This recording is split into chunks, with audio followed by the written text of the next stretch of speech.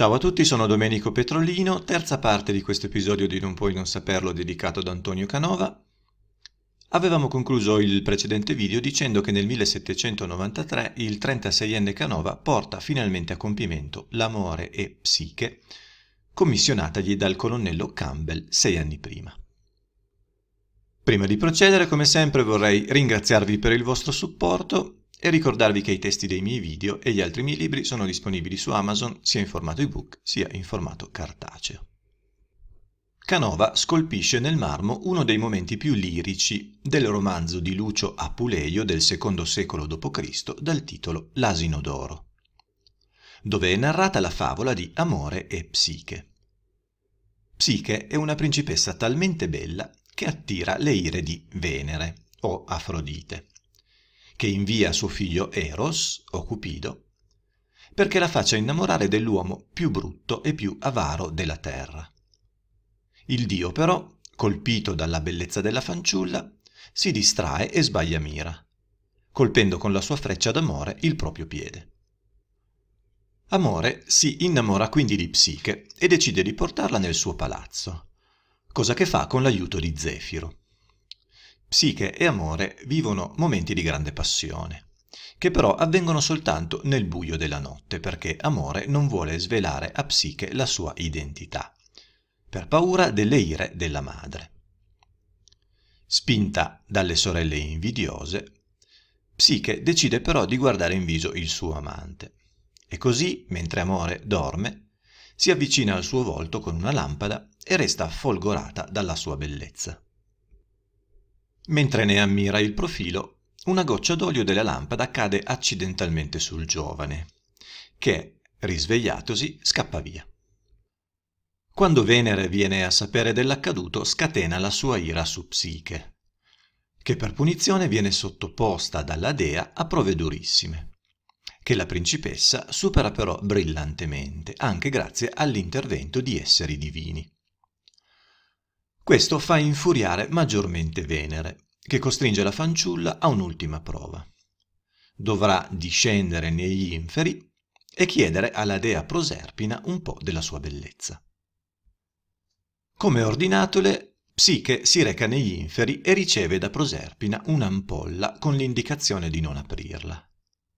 Nonostante ciò, incuriosita, Psiche apre il contenitore dal quale fuoriesce una nuvola che la fa cadere in un sonno profondissimo.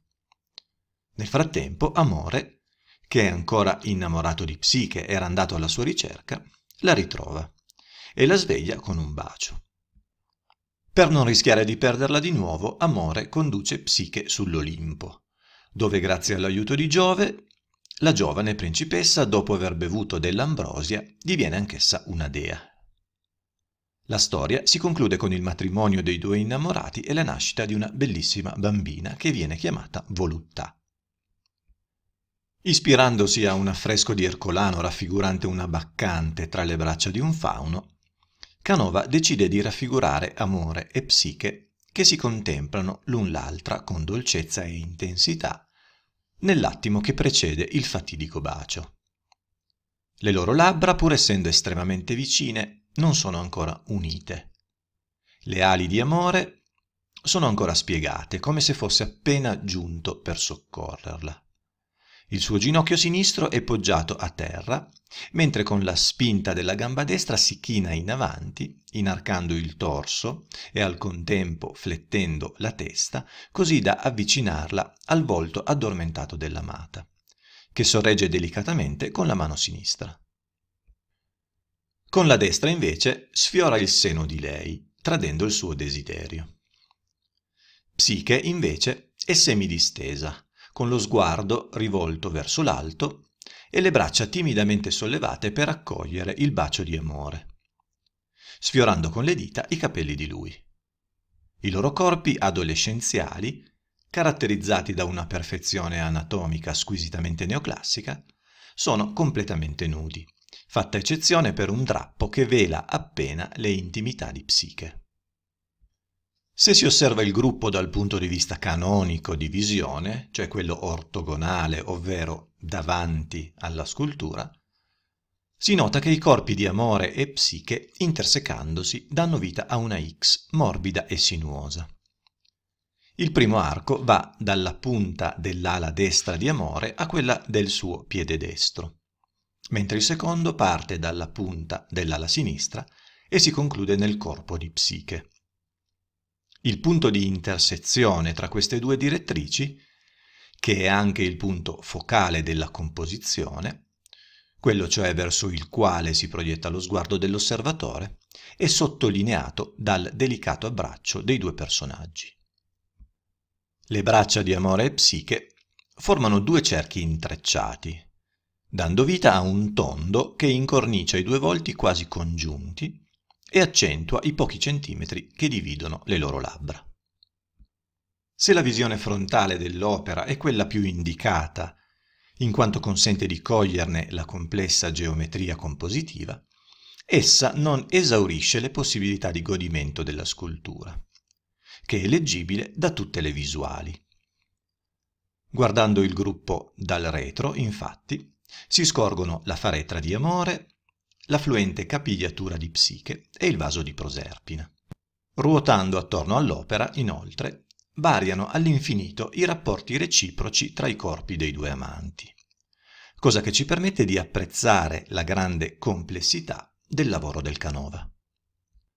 Amore e Psiche risponde pienamente ai principi dell'estetica del neoclassicismo.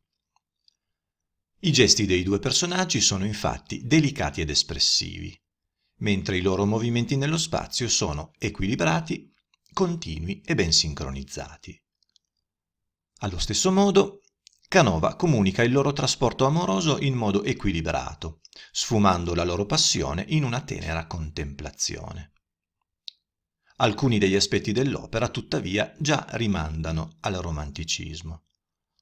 La stessa sensualità, ad esempio, che seppur filtrata dal neoclassicismo canoviano avvolge tutta la composizione, oppure il dinamismo spiraliforme che anima la scultura.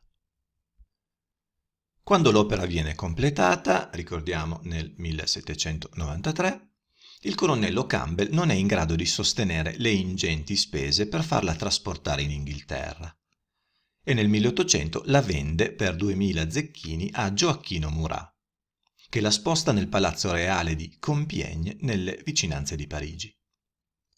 Nel 1808, quando i beni di Murat entrano in possesso della corona francese, Amore e Psiche passa, insieme ad altre opere, nelle collezioni del Museo del Louvre, dove è tuttora esposta.